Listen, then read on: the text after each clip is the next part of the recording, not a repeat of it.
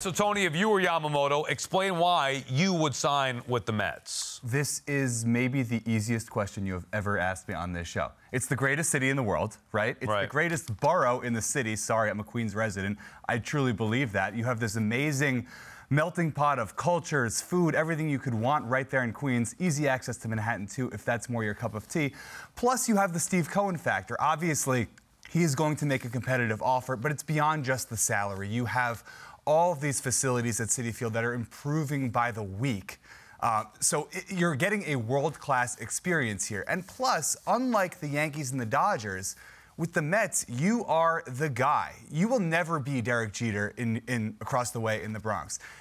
Here in Queens, if you win the World Series, you're in the all-time pantheon of New York greats. So for a guy who apparently seems to be motivated, guys, mm. by winning and by that sort of spotlight, where else can you achieve that better than here? Love it. Yeah, all that and the most money. I just thought you could be like, well, the most money, but those are great answers That's too there. Easy. Yeah, well, but it is true. money talks. And well, never mind. All right, Laura, explain why if you're the Yankees that you would sign if you're Yamamoto with the Yankees, why would you sign there? Well, like Anthony said, he wants to win. Uh, I think there were some reports recently about how uh, he, Yamamoto really doesn't want to be in the little brother situation anymore. Now, we're not saying that the, that the Mets are a little brother uh, because they do have the money, they do have the financial capital to sign him. But the fact of the matter is that a lot of people are looking at this as some sort of gap year. They still have to bridge to 2025. So if you're looking at the Yankees and you're looking at the Mets and you're looking at a team that just traded for Juan Soto, you're like, hey, you know, this is a win now team. This is the team that I want to be on. In addition to that, you get to learn from Gerrit Cole.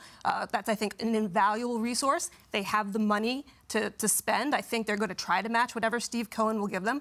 And there is that pedigree. You are a Yankee. You wear pinstripes. You can be a legend in a way that maybe the Mets haven't quite built up yet in their franchise history. Yeah, you make a good case, which is kind of depressing me, quite honestly. I, like the Mets can't compare with the history, but make your own. Make well, that's that's the biggest point that you said. I, we know joke about How the money. Inspiring. Yeah, but but why would you follow in the footsteps of others when you could create your own path? All right, Hannah. How about from the Dodgers' perspective? Why would Yamamoto want to sign with the Dodgers? See, I think I got too easy of an assignment because if I'm Yamamoto, I'm thinking there's a guy who had an opportunity to sign with literally any team, and he had six seasons in the States to consider his options, knowing that he was going to be the most coveted free agent of all time, and he picked the Dodgers. I'm just going to say, I bet Shohei Ohtani did his research, and that when he came up with a very clear answer to go to the Dodgers. If it's good enough for Shohei, it's good enough for me.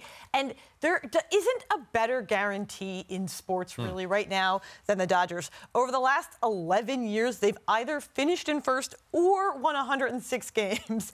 And if you're you you, they always go to the postseason. They they are going to go to the postseason mm. next year. They're going to go to the postseason the year after that. You, you know what I mean? Like with the Mets and the Yankees, you're talking about they're going to put so much around you. They're going to build. They're really ambitious, and I agree. They're both really ambitious teams, but it's tough to have any kind of guarantee in sports, and the Dodgers are about as good as it gets in terms of just making it to the postseason. But also the weather.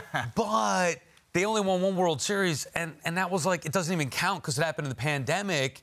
Even the Mets, who haven't even tried for years, been in a, a World Series more recently than the Yankees. I love you, you know that. Laura, I love you as well. DiComo, you're right. The Mets are the best answer.